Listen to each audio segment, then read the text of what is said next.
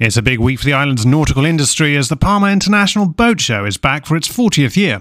Last year, the show brought together 271 exhibitors, 250 boats, and welcomed more than 32,000 visitors. It runs until April the 28th on Palma's Old Dock in the heart of the Balearic capital.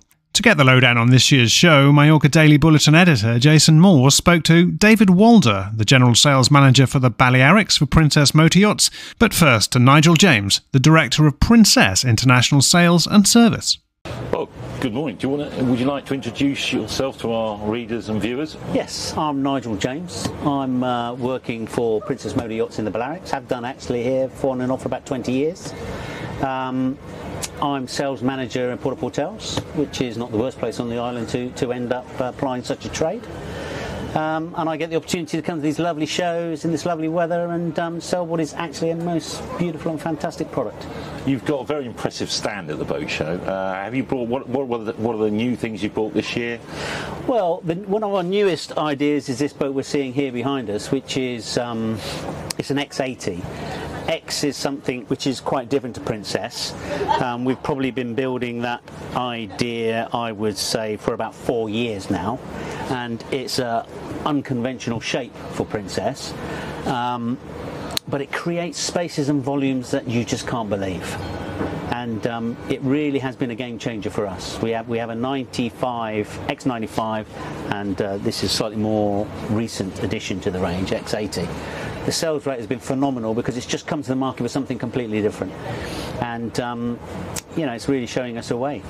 What, what does Mallorca offer, Princess? Ah, so much, really, isn't it? It's condensed for one thing. You know, it's, it's not the biggest island on the planet, but it, it, so it is is easy to get around. It's full of beautiful little bays and, and little areas that, unless you've got a boat like this, you're just never going to experience we are a catchment area for the world. You know, if you look at the nationalities that we get coming into here, there is people from all over the planet coming here and enjoying boats. Obviously, our big markets are European, um, and the Germans and the Americans are probably our biggest drivers, along with the, the Spanish, who are significant customer. But I'm now seeing, you know, I'm seeing. Um, even some Americans we're seeing uh, looking at us now, and uh, it's just a great great place of easy to get to, mature services, um, very mature companies that have been doing it a long time and do it very well. And all your boats are made in the UK, are they? We are, yeah. We, we build in the west country of England. We're in Plymouth. We've got staff there probably of about 3,000 people, building about a little over 200 boats a year. We make a large part of our boats, more than some manufacturers, in as much as we make these seats, we make our stainless steel, we do our own paintwork. You know, having grown up in Plymouth, which is a bit out of the way for England, they had to learn to do everything themselves. So they have complete control of all their different processes, all their, all their own furniture, all their own steelwork, all their own GRP and cos, uh, composites. So um, they have a lot of control over the product line, a lot of control over the quality and uh, it does make for a better product, no doubt. And what is the market like at the moment? It's um, yes, it's interesting really. There's probably a little bit more availability than we saw a year ago.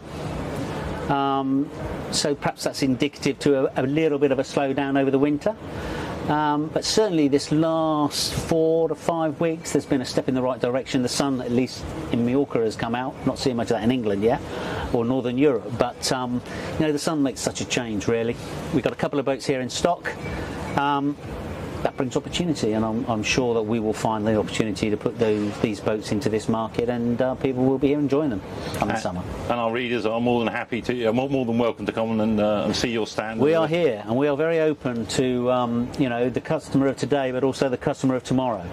You know, an environment like this, you can't judge anybody by their look, that's for sure, unless you're going to sit and have a conversation with people who've got no idea who they are. And not everybody can do it today, but it does, doesn't mean that they can't be doing it in a few years. And a company like us, we have to be looking ahead the long game because um, that's how we get successful. Hello, I'm David from Argo Yachting and uh, welcome to the Palma International Boat Show 2024 and we're here on board the Galeon 640. Uh, we've got lots and lots on display here. We have the Saxdor 270 GTO and Saxdor 320 GTO. Um, really, really exciting cutting edge design uh, day boats, which are proving hugely popular and a very exciting new brand. We have two Chris Crafts from America, the 28 launch GT and the 35 launch GT. Those are the classic um, flared, um, flared bows, uh, beautiful lines, um, superb build quality. And so, we have two of those on display. Uh, we also have the Greenline hybrid boats. We have the 40 and the 45 Fly. So for people who want added comfort, silent power, and being able to run all the, the ship's systems for 48 hours without needing to turn on the, the engines or generator, which is uh, becoming more and more popular as people become more environmentally conscious and also people that want to ha um, have extended periods cruising. And then lastly, we've got the Galeon 440 and this this yacht, the Galeon 640, it's a hugely innovative designs, um, maximising space with really interesting layouts. So we have these as well. Oh. So uh, lots, lots to show. Very exciting. The Palma International Boat Show is hugely important in our calendar. Um, I think it's the third largest, largest event we attend and take part in in our um, in our calendar each year. The show has been growing and growing and growing. I think it's also growing in importance as uh, the Balearics and the guaranteed weather becomes more and more exciting for our customers in the UK and Germany specifically.